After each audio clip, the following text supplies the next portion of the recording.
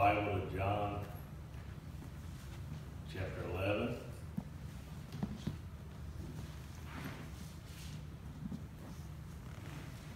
John chapter 11.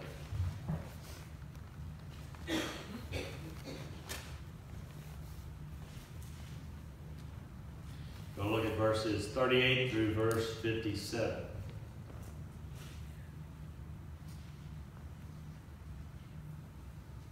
Then Jesus, again groaning in himself, came to the tomb. It was a cave, and a stone laid against it. Jesus said, Take away the stone.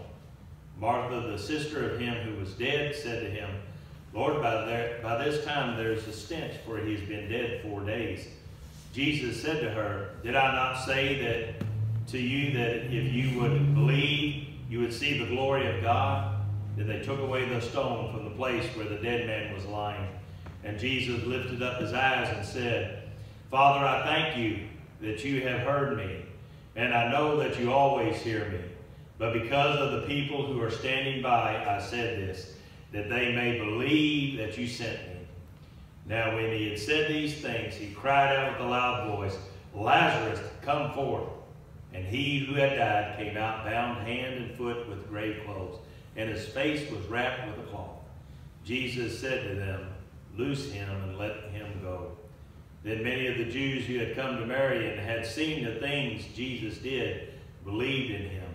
But some of them went away to the Pharisees and told them these things Jesus did. Then the chief priests and the Pharisees gathered a council and said, What shall we do? For this man works many signs. If we let him alone like this, everyone will believe in him, and the Romans will come and take away both our place and nation. And one of them, Caiaphas, being high priest that year, said to them, You know nothing at all, nor do you consider that it is expedient for us that one man should die for the people, and not that the whole nation should perish. Now this is he who did not say on, now this he did not say on his own authority, but being high priest that year, he prophesied that Jesus would die for the nation, and not for that nation only, but also that he would gather together one the children of God who were scattered abroad. Then from that day on, they plotted to put him to death. Therefore Jesus no longer walked openly among the Jews, but went from there into the country near the wilderness to a city called Ephraim. And there he remained with his disciples. And the Passover of the Jews was near, and many of them went from the country up to Jerusalem before the Passover to purify themselves. Then they sought Jesus and spoke among themselves as they stood in the temple. What do you think, that he will not come to the feast? Now both the chief priests and the Pharisees had given a command that if anyone knew where he was, he should report it, that they might seize him. I think everybody in here knows what an APB is, an all points bulletin. It's what the police issue when there's, a suspect that they, they want everybody to be on the lookout for. And uh, certainly, uh, uh, we can we can look to that in the scripture today. But there's another APB that I want us to see from our scriptures today. And it's, it's obviously three simple things. The authority of Jesus. The A in the APB is the authority of Jesus. Now, Jesus has authority over this earth. And why does Jesus have authority over this earth? Well, because he created this earth. He's the one that made everything that we see. Uh, we can look to the, the uh, earth and his authority over that on the Sea of Galilee. Uh, if you'll remember the story, the wind and the waves were crashing against the boat, and they, the disciples they cried out to Jesus to help, and he stood up and spoke and said, "Peace, be still," and everything ceased. Uh, and in Matthew chapter 8, 27, it said, So the men marveled, saying, Who can this be that even the winds and the sea obey him? Jesus can command the sea to stop doing what it's doing. He can command the storm in, in, on the Sea of Galilee to cease. You see, the disciples came and they asked him for help. And it only took a word from Jesus. He just spoke the word and everything stopped. Now, let me ask you do you have storms going on in your life today? I think everybody does. We've all got little storms that, that come out all throughout life. And, and they pop up sometimes without notice, sometimes we can see them coming. But we have to trust in the one that will get us through the storms of life. Do we, do we believe that Jesus will get us through the storms of life? You see, that's where it comes in. Do we believe that Jesus has the authority to calm the storms that are going on in our lives? We've got to trust in Him.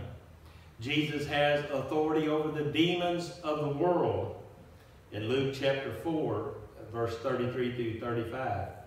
Now in the synagogue, there was a man who had a spirit of an unclean demon. And he cried out with a loud voice, saying, Let us alone. What have we to do with you, Jesus of Nazareth? Did you come to destroy us? I know who you are, the Holy One of God. But Jesus rebuked him, saying, Be quiet and come out of him.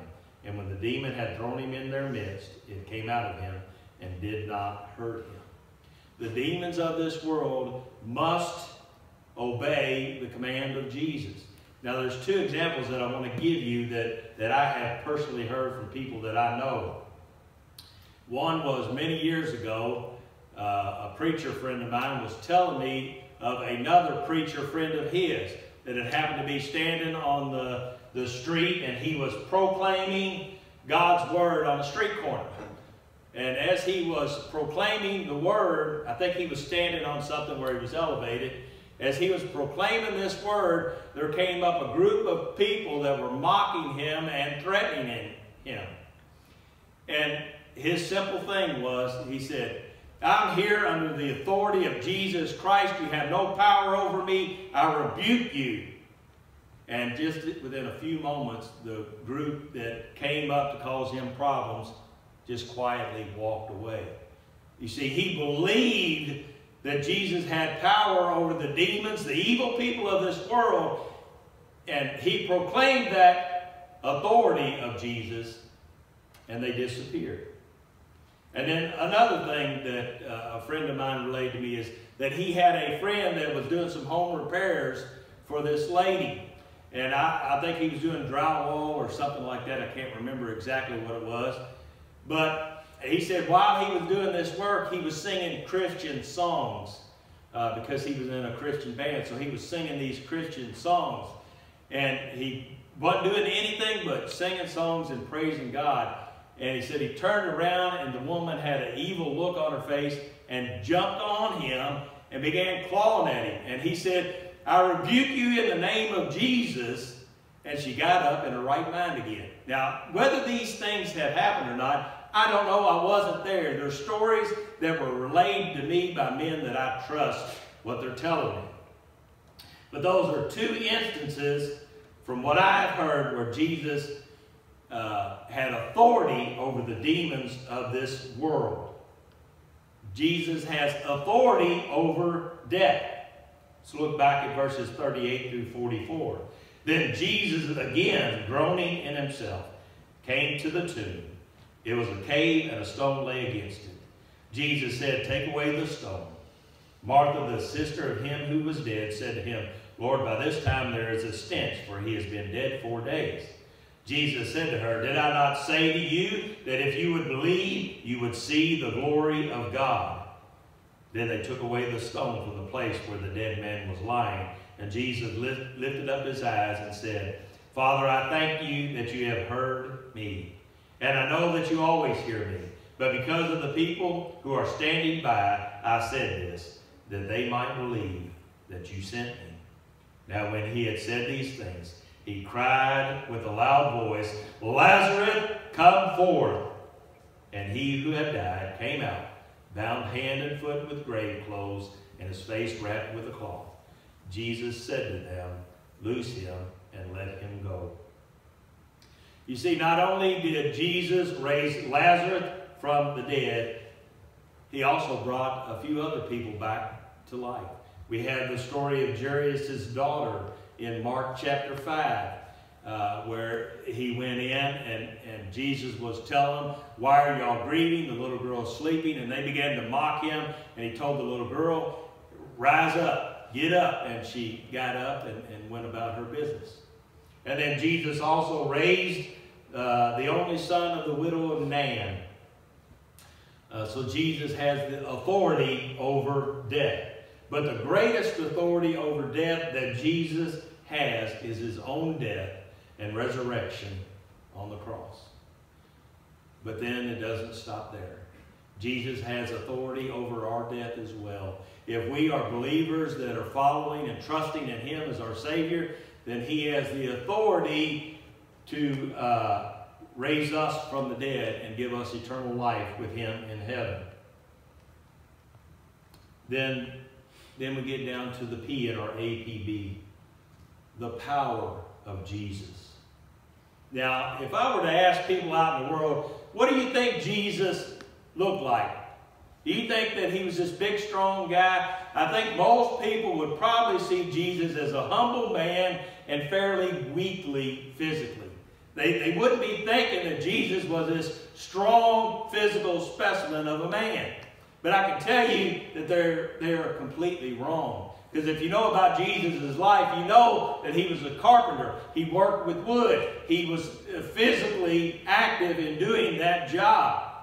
But there's one thing that you don't, maybe, maybe you don't think about Jesus when you're thinking about his physical endurance. And that's that he had uh, spent 40 days in the desert without eating. Now, how many of you can go a day without eating. You think maybe you might be able to make a week. Jesus went 40 days without eating, and he did it in the most uncomfortable atmosphere around. When, when, when I say desert, what are you thinking of when I say desert? Like a flat plain in a hot place? The desert in Jerusalem was a rocky, mountainous area. There was no life around there other than some animals going around. It was a horrible place to be in. And he spent 40 days there without food. And I can tell you, you have to have great physical strength to be able to endure 40 days without eating. But Jesus did it. He overcame the temptations that Satan threw at him to turn the stones into bread. So he was uh, a very powerful human being in, in a human body, as well as being God in the flesh. And he also had uh, awesome healing powers. He took the, the blind people and he gave them back their sight. He took the lame and gave them back their legs. He took the leper and he cleansed their body. He took the deaf and gave them back their hearing. And he even had the power. And, this is a miracle that that I really don't understand in the midst of the garden with all of the, uh, the, the people that came to arrest Jesus. He had the power to take the ear of the servant of the high priest that was chopped off and put it back on and just touch it and heal it. Now, I don't know about you, but you think that them soldiers would have saw that miracle, they would have stopped in their tracks and said, Jesus is who he says he was, and I'm going to leave him alone. But they already had it in their heart to do evil, and they arrested Jesus and took him to the cross. But Jesus had the power to reattach that ear of the servant. Jesus has the power over nature, which I said earlier in the storm. Uh, but he also has power over the animals. Uh, if you'll remember the story where the disciples had spent all night fishing and they didn't catch anything, and Jesus commanded them if you'll cast your nets on the right side, you'll find a haul. And Jesus commanded the fish to gather together on the right side so that when the disciples threw their net out, they caught such a load that it began to sink their boat. Jesus has the power over the animals. He also told uh, the disciples to cast out a line and catch a fish and inside of that fish was going to be a coin so that they could be able to pay the taxes to Caesar. Now, he commanded the right fish with the coin in his belly to get on the hook. Now, I don't know about you, but do you ever catch the fish that's right in front of you? Not likely. You're usually going to get the one that's hiding and you don't see. Because I, I don't know about you, when I go fishing, I can throw the line and hit the fish in the back with the hook and he'd still get away from me. But Jesus had the authority to tell that fish to be in a certain place at a certain time so that they could catch him and pay the taxes that they needed to pay. He also had the power to multiply the fish when he fed the 5,000. Uh, and, and the biggest thing is Jesus has the power over death. Death did not defeat Lazarus, and it did not defeat Jesus on the cross. And death does not defeat us when we believe in Jesus. You see, Jesus also had the power to withstand all of our sins being dumped on his body while he was hanging on the cross. And I don't know about you, sometimes the, the things that I've done wrong in my life, they can weigh awful heavy on me. And sometimes we just don't have the physical strength to stand because of the things that we have done in our life. But imagine the whole world's sins being dumped on him. So he had awesome power. Jesus was not this 60 pound weakling. Jesus was a man. And he was a powerful man. To be able to endure all of that, he had to be physically powerful. And then the B in our APB is belief in Jesus. All of the authority, all of the power that Jesus had, none of that will mean anything if we don't believe in him. Look back at verses 45 through 48. Then many of the Jews had come to Mary and had seen the things Jesus did, believed in him. But some of them went away to the Pharisees and told them the things Jesus did. Then the chief priests and the Pharisees gathered a council and said, What shall we do? For this man works many signs. If we let him alone like this, everyone will believe in him. And the Romans will come and take away both our place and nation. The people saw the authority and the power of Jesus, and then they believed. They believed. Now, let me ask you how is God's power and authority being displayed to the world today? Is God still doing miracles in our world today? Yes, I have seen them myself. Is God still bringing people back from the dead? Yes. There's stories all around the world where somebody has died and the people have prayed and Jesus has brought them back to life. There is definitely things that are going on in our world that bring glory and honor to God. And, and people need to believe that. But the world's not going to see that if they don't see that in us. If we don't believe what we're preaching, then nothing's going to happen. I watched a sermon from Francis Chan. I think we may have done a study with him. Uh, if not, uh, I don't remember, but he went into, uh, I think it, I, I, can't remember where it was. I think it was somewhere in Africa. And he went in there and, and he said in his sermon, he'd always preached the, the, power and the authority of God and, and the miraculous healings. But he said he got up and he said, if there's anybody here that needs healing, come up now. This is a man that is not out selling healing miracles. He, he's not into any of that. He's a godly man preaching the word of God in power and authority. And he said people began coming up to him and getting healed. He said he could not believe what God was doing in the midst of it. Now, he doesn't go around and try to do healings and all that. This was a one-time instance where God said, this is what I want to do. God is doing those powers for people to see all around the world. But he's also looking for ways that we can allow Jesus to be on display with us. People need to see Jesus actively working and living inside of us doing those things. Look at uh, our last scripture, verses 49 through 57.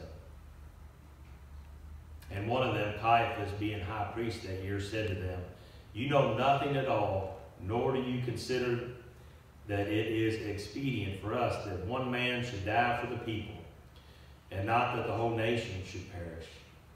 Now this he did not say on his own authority, but being high priest that year, he prophesied that Jesus would die for the nation, and not for that nation only, but also that he would gather together in one the children of God who were scattered abroad.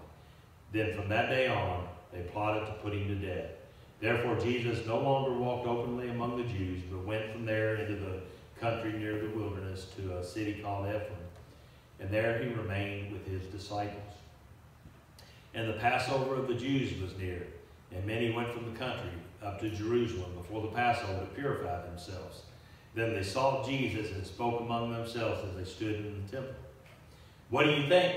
That he will not come to the feast? Now both the chief priests and the Pharisees had given a command that if anyone knew where he was, he should report it and that they might seize him. You see, the Pharisees, they did not believe and they did not believe the message that Jesus brought. They did not believe that he was sent from God. The only thing they believed is what the high priest said, that Jesus was going to die. And that's what they stuck with. So they sought to arrest him and they sought to kill him, according to the prophecy of Caiaphas. Now, our world today is getting further and further away from God. The persecution of Christians is growing daily. People are dying for their faith. And you know what? The world is going to come after us. The world is going to come after those that stand on the principles of God's Word. And if you don't think that's going to happen, all you got to do, take a stand on God's Word, put it out there on Facebook. I stand on this and this alone. What God's Word says we need to do, we need to do, and you'll find people attacking you for your faith. One day, it's going to come to the United States that we are not going to be allowed to preach the Word of God accurately. We're going to have to preach it according to how the world wants us to preach it. It's coming. I don't know when it's coming, but it's coming. So what I want to know in your life is do you stand on the authority of God's Word in your life? Do you stand and have the power of Christ in your life? Do you believe? If you say yes to all three of those, then what are you doing with your faith? Is it being limited to you? We have a world to change. And it's not going to change by being quiet. Let's pray. Our Father in heaven, we thank you so much for your precious word that guides us and keeps us on the straight and narrow path. God, I pray that you would help pastors to preach the word boldly. Yes, sometimes it's hard to hear, but we need to hear what you're saying to us. We need to stand on what your word says and not what this world wants to hear. Father, we do not conform the word to this world. We conform the world to your word. Father, help us. Father, we cannot do this on our own authority, on our own power, on our own strength. We can only do it through the power and authority of Jesus Christ that has been proclaimed over our lives when we've given our heart to Jesus. So, Father, help us to do that. And Father, if there's anybody today that is not standing on all of that, Father, I pray that you help them. Father, anybody that's listening to this on, on the video, I pray that you help them to have the strength and the faith to turn their life over to you. I pray that you help them, Father, because the days are growing darker. Time is running out. And Father, we need you. So help us, Father, in Jesus' name.